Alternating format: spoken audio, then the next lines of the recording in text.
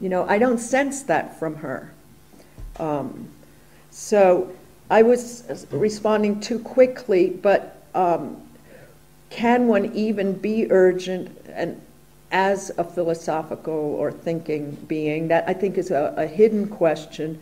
But what does one take recourse to in the event of an emergency? That's one of the questions she asked. The other um, motif that we didn't get to address here today is that of personhood. Maybe you've been working on it.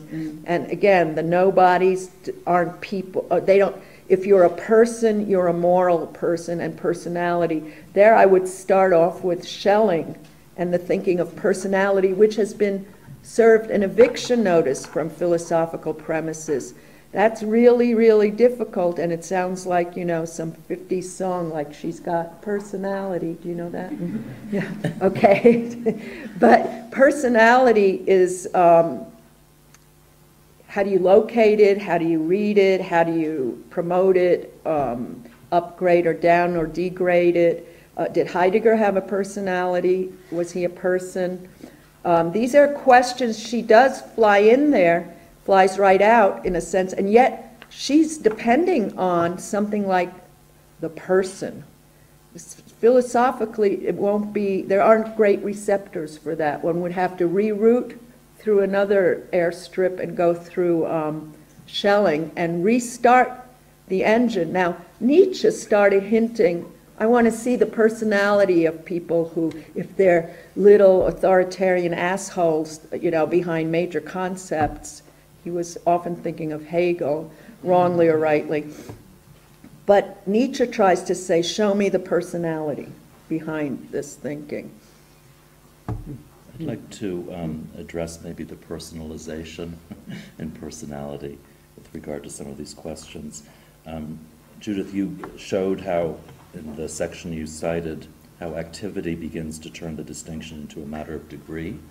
But we do pull up short, I seem to recall in the essay, before the act itself. Mm-hmm. Activity and act are then distinguished. Yes, that's Um, true. So even as we approach by degrees, um, she pulls still that emergency brake. Um, and um, to my mind, that cites a whole tradition of Anfang Baditat and, um, and all that uh, goes with that. Um, Larry is referring to Faust, the way it opens uh, with the performative um, translation of the Bible that says, "In the beginning was the deed," rather than the word, The or word. a- another translation of the word as deed. which is a work of translation that I would argue begins what is for the rest of the work the deferral of his suicidal ideation. So it has that, um, uh, in my ears, that, that emergency quality um, that gets back to the Maßnahme um, and to the Massenweise that were both um, mentioned. Um, Massenweise in Benjamin, um, and we talked about this in class the other day, so excuse my repeating myself to those in the class, but I think Massenweise operates in uh, Benjamin uh, as a contrast to a, a movement of personalization or in-groupification that has to do with the relationship um, to and through the gadget um, or gadget love. Um, so that I, I hear that as almost parallel to her notion in passing of the notion of the self um, as something that's pulled as a kind of emergency brake, because it's no longer the masses as such, um, but a certain uh, relationship uh, with regard to mass technologization and mass psychologization um, uh, that allows, at least for the sense, of administer, self-administering the shock um, that one is exposed to, um, so that um, he begins to carve a space of um, affirmation or survival um, uh, before the console, before the off-on switch uh, or the standby switch or whatever. Um, so, I mean, I, I think it's worth marking that in, in Eichmann in Jerusalem, we, we don't actually see um, forgiveness. It's not, it's, and, and in fact, we don't see mourning either, which seems to me to be linked with the possibility of forgiveness. We see a, we see a struggle with vengeance and a call for judgment, but we don't, but maybe actually both of those would dissolve a bit um, uh, if we had uh, a, a different kind of um, question of, of what it means to mourn or what it means to forgive as a relationship to catastrophic loss um, and catastrophic murder. So I don't think we can go there, but I, I, I want to say that it's important to mark that absence um, as a kind of uh, constitutive horizon of, of, of the problematic. Yeah, yeah. Yeah. Tim? Well, I was wondering if we could potentially read in the beginning of us, I think, in the Nietzsche as the mother, uh, Heidegger characterizes as quiet, shy, enduring the agony of having to scream, and in fact birthing the boy, Heidegger, the inheritor of this message, um, who heard him, who was compelled to hear and to keep hearing, addicted to hearing, um, and then uh, as a part of that hearing, which Nietzsche also lays out in his text, the necessity of forgetting.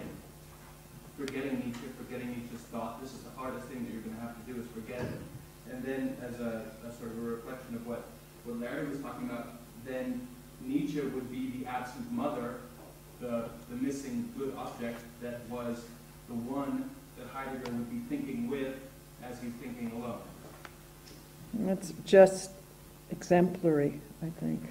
It's very, very, um, very persuasive and moving and very um, necessary to consider, indeed, that there's also the massive transmission problem, the pro- problem of legacy, between whose legacies emerges what, and, and heritage that has been um, disrupted, violated, and, um, and how does, one of the questions, and, and you're absolutely right to remind us, uh, at least implicitly, that this is a question of, of pedagogical um, emergence and, and, and obedience, or listening to and learning from and, and emerging from a mentor who might be um, designated or not.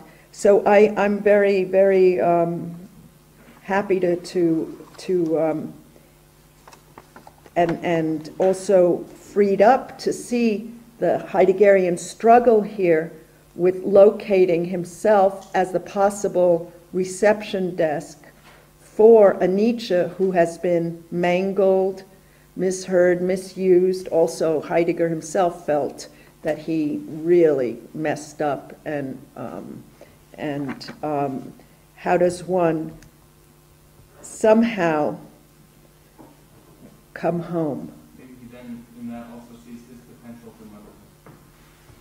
sees